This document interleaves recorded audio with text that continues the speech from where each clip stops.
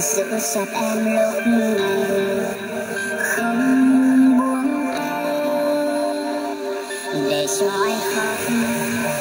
thêm một lần nữa thôi, thêm một lần cuối cùng, rồi ta sẽ rời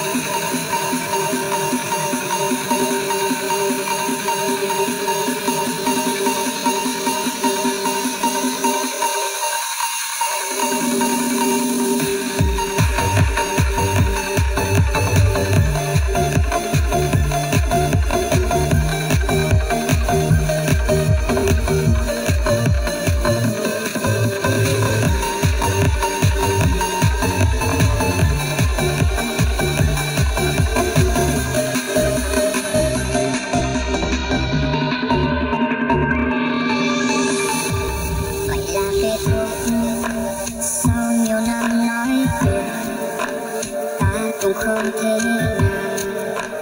đi xuống